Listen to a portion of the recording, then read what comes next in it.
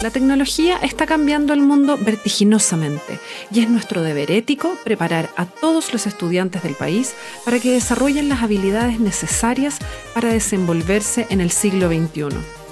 En este contexto nace IDEO Digital, proyecto país originado gracias a una alianza estratégica entre Fundación CODEA y el programa Chile de Fundación BHP, que busca crear las condiciones necesarias para implementar las ciencias de la computación en el sistema escolar público chileno para que miles de niños, niñas y adolescentes se conviertan en protagonistas de la sociedad digital.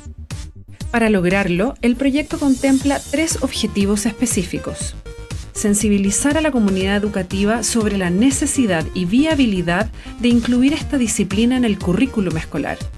Implementar las ciencias de la computación en el aula a través del desarrollo de cursos curricularizados desde primero básico a cuarto medio, inicialmente basados en code, además de capacitación y acompañamiento a los docentes. Instalar la importancia de las habilidades digitales en las políticas públicas.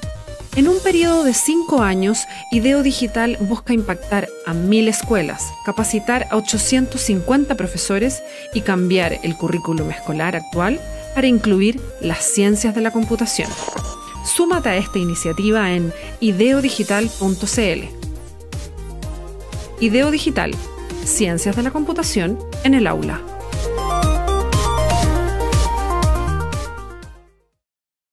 Ya estamos de regreso con más tarea de tecnología acá en dboxradio.com y recuerden que este y todos los capítulos de tarea de tecnología están disponibles siempre en dboxradio.com y nos pueden encontrar en redes sociales también. Estamos en Facebook, en Twitter, en Instagram, hasta en LinkedIn para que puedan saber parte de los invitados que hemos tenido y también de los que vendrán más adelante en las próximas ediciones tanto de tarea de tecnología como también del resto de los programas de Divox Radio. Nosotros vamos a continuar hablando ahora sobre convivencia escolar, sobre cómo afrontar los problemas de violencia que se han denunciado durante el último tiempo y para eso retomamos el contacto con Gay McLean, directora de Innovación y Prevención de Fundación Paz Ciudadana, porque antes de la canción nosotros nos quedamos conversando entre medio ahí en la pausa musical, porque de verdad este tema da para hablar mucho rato, pero la clave entonces es el ecosistema donde se van a desarrollar eh, eh, los estudiantes, generar un ecosistema de desarrollo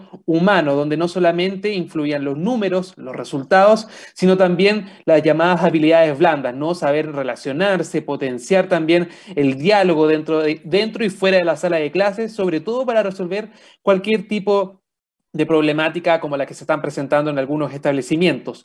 Pero, Gail, ¿cómo en concreto se puede llevar a cabo este tipo de trabajo que tiene que ver con la generación de este, este, este ecosistema? ¿Es, por ejemplo, recomendable los talleres, los diálogos? ¿Cómo podemos integrar también la voz de los apoderados, de los profesores? Cuéntanos un poquito ahí el trabajo que ustedes han podido ya materializar durante estos años, desde el 2007 en adelante, con este programa Paz Educa que lleva la Fundación a cabo? Bueno, el programa Paz Educa lo que busca eh, hacer es abordar eh, la convivencia escolar, la gestión de la convivencia escolar desde distintos ámbitos, ¿no? Por una parte, el programa tiene cuatro ejes principales. Uno de disciplina formativa, que es bastante interesante, donde se busca implementar un eh, foco formativo en la aproximación a la convivencia escolar. En nuestra experiencia y en los distintos diagnósticos que hemos realizado, lo que observamos es que eh, la convivencia escolar muchas veces está centrada en generar protocolos ¿no? para poder reaccionar ante ciertas situaciones y eventos complejos y generar un sistema justo de sanciones. ¿no? Y entonces ahí el foco de los docentes, de, la de los miembros de la comunidad, están en cómo poder sancionar de manera proporcional, a través de procesos claros, conocidos, ¿no?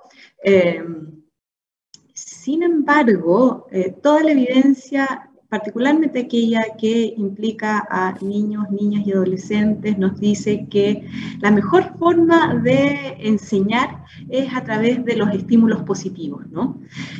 Esto se ve reflejado, por ejemplo, Nicolás, cuando vemos los libros de clases, ¿no? Los libros de clases sirven para registrar las notas, ¿no? Desde luego, pero también anotaciones negativas y positivas, Sin embargo, los libros de clases contienen por sobre todo anotaciones negativas, ¿no?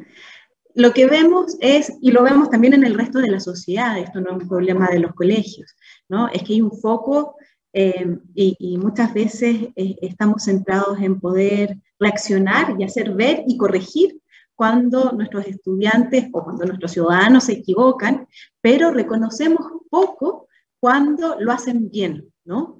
Eh, los colegios todos tienen la obligación de tener ciertos valores que impulsan, ¿no? Entonces aquí el programa, a través de este eje de disciplina formativa, lo que hace es que los alumnos sepan cuáles son los comportamientos que se esperan de ellos, ¿no?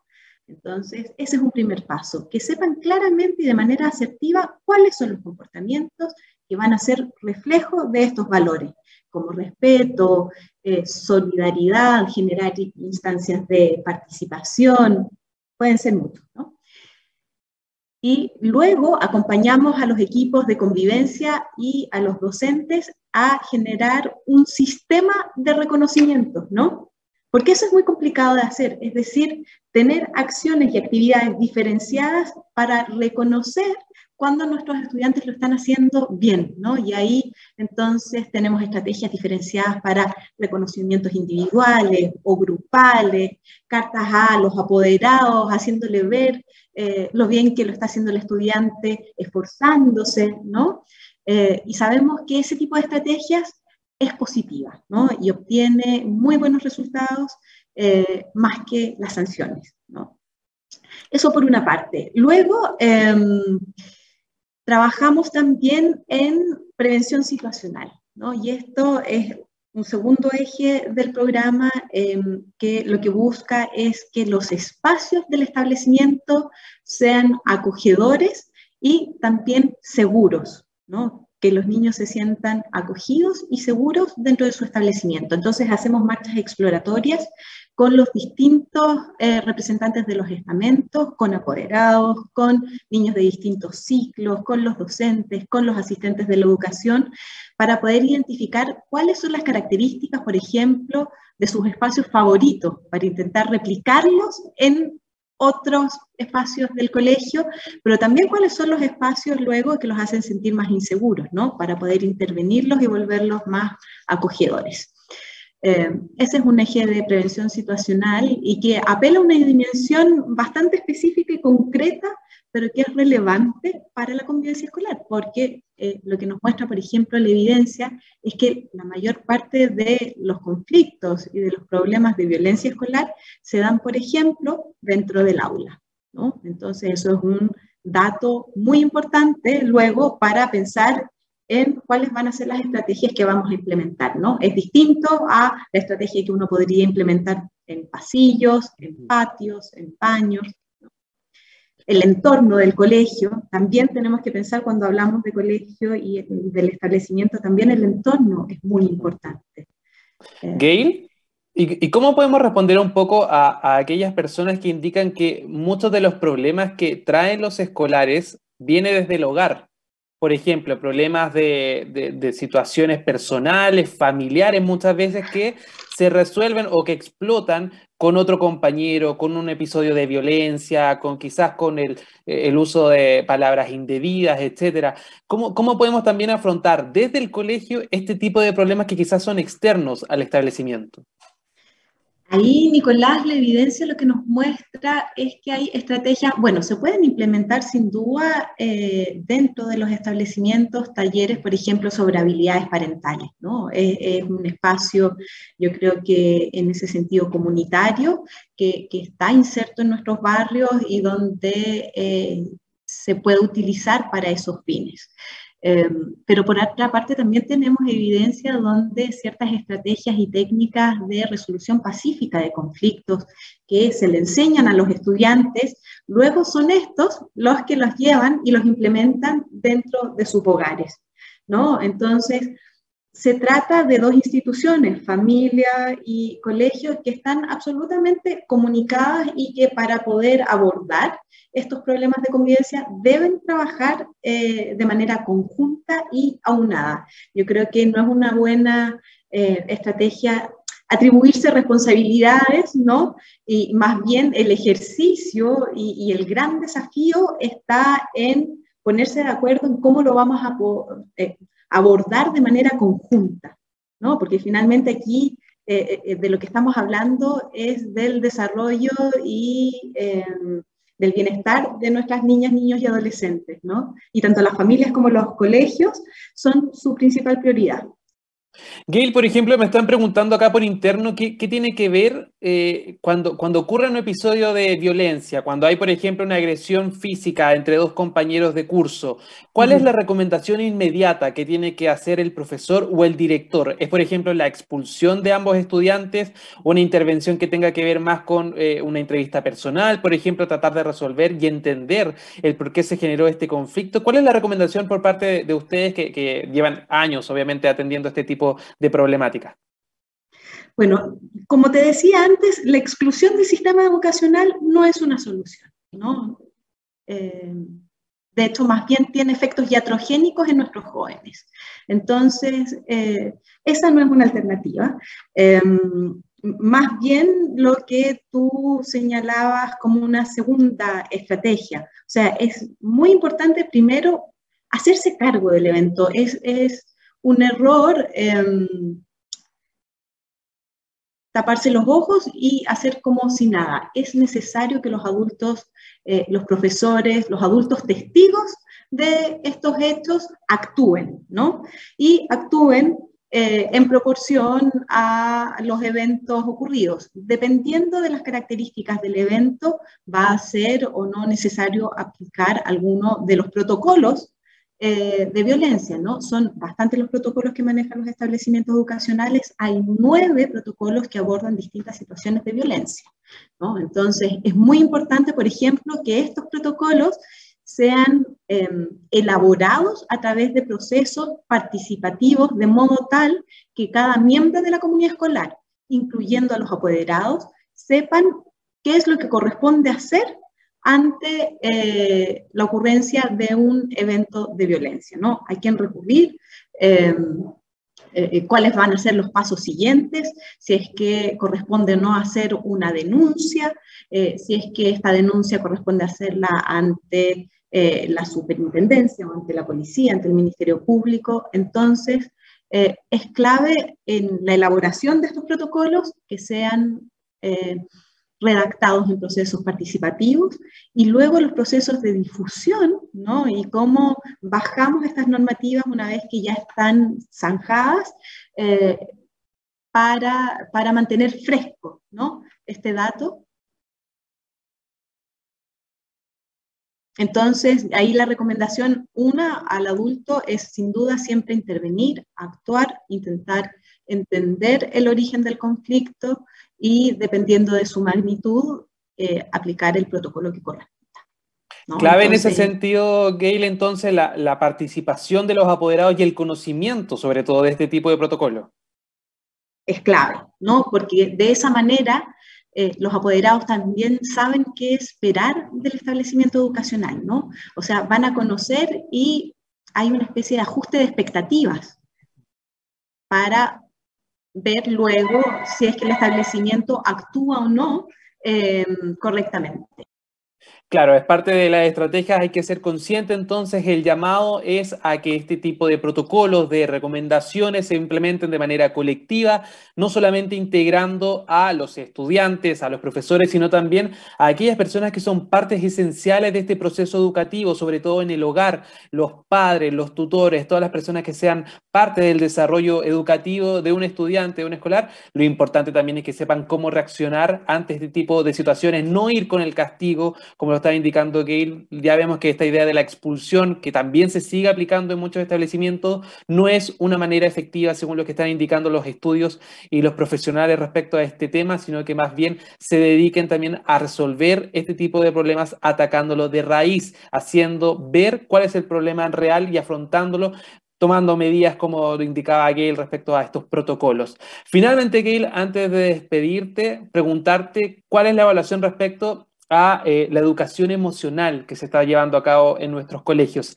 ¿Hace falta ¿Cómo podemos también fomentar un poco eso, la empatía, por ejemplo, al momento de resolver conflictos, la manera eh, civilizada que muchas veces los estudiantes tienen que tomar para poder resolver distintas diferencias, distintas problemáticas? ¿Cómo podemos un poquito eh, ser más conscientes? ¿Cuál es la recomendación por parte de ustedes para, para también fomentar esta llamada educación socioemocional que, que, a veces está mirada un poquito de lado en los colegios? Quizás no todos lo están implementando, no todos tienen técnicas, como tú bien indicabas, para poder resolver este tipo de temas.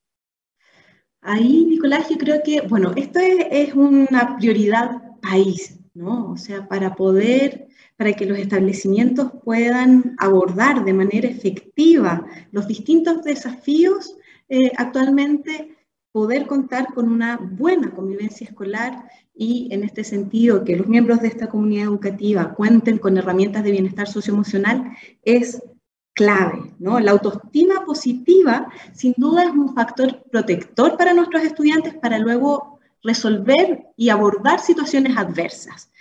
Em, por lo tanto, lo que yo creo que eh, debemos hacer es sin duda apoyar a nuestras comunidades educativas como nunca. Creo que es necesario que sean foco de la política pública. Creo que eh, Ahí el Ministerio de Educación va a tener que hacer un trabajo importante intersectorial con, eh, con salud, por ejemplo, con Ministerio de Desarrollo Social, identificar qué otros actores se pueden sumar a este desafío país, ¿no? Para poder eh, apoyar a, nuestros niños, niñas, adolescentes, a nuestros colegios. Em, creo que es clave entregarle a los docentes y a los equipos de gestión herramientas Em, eso es, un déficit, ¿no? No, es parte del currículum eh, de, pedagogía, ¿no? Entonces, eh, los docentes ya lo estaban manifestando el año pasado en, unas encuestas realizadas por Fundación Chile junto al Ministerio de Educación, aparecía como una de las principales necesidades de formación de los docentes, eh, estrategias para apoyar socioemocionalmente a sus estudiantes. ¿no? Es una de las principales preocupaciones de sus docentes. Ellos ya estaban conscientes de estas necesidades el año pasado. Por lo tanto, es necesario abordarlas, es necesario generar los espacios también para traspasarles a nuestros docentes estas herramientas y en ese sentido eh, poder aprovechar estas oportunidades de flexibilización de la jornada escolar completa para poder traspasar estas herramientas, ¿no? Esto implica remirar también el sistema educativo que ha estado bastante centrado en lo académico, ¿no? Cuántos contenidos qué contenidos ¿no? vamos a priorizar eh, para poder dar espacio también a este tipo de formación que hoy día está siendo una necesidad crítica. Me quedo con esa idea, Gail, sin duda dejar de lado ese pensamiento que solo el colegio sirve para sacar buenas notas, sino que también la preocupación de la comunidad académica en general tiene que ser, como tú lo indicabas, generar este ecosistema para un desarrollo humano, donde también la empatía, las habilidades blandas, como, como lo indican algunos expertos, son tan relevantes como las notas, como las pruebas, como los resultados en números. Sin duda una problemática que vamos a estar muy atentos a cómo se va a desarrollar en nuestro país y sobre todo cómo se va a responder por parte no solo de las autoridades, sino también de los propios establecimientos. La gran conclusión, creo, de esta conversación, Gail, es el llamado a que se tomen acciones no solo de reacción, no solamente cuando se presente el problema, sino de generar un escenario, un espacio para que los jóvenes y los escolares en general se puedan desarrollar no solo en lo académico, sino también como personas. Creo que ese es el gran mensaje que podemos entregar luego de esta casi hora de conversación que tuvimos acá en tarea de tecnología. Gail McLean, directora de innovación y prevención de Fundación Paz Ciudadana, de verdad muchas gracias por estar con nosotros y esperamos tenerte más adelante en una nueva oportunidad para seguir profundizando en este tema y quizás analizar cómo se está respondiendo, si han mejorado o no las cifras respecto a este tipo de denuncias. Claro que sí, Nicolás. Que tengas una muy buena tarde y gracias por la invitación. Nosotros nos vamos ahora a la última canción de Tarea de Tecnología, ya la vuelta al último bloque antes de despedirnos en el capítulo del día de hoy. Divoxradio.com Codiseñando el futuro.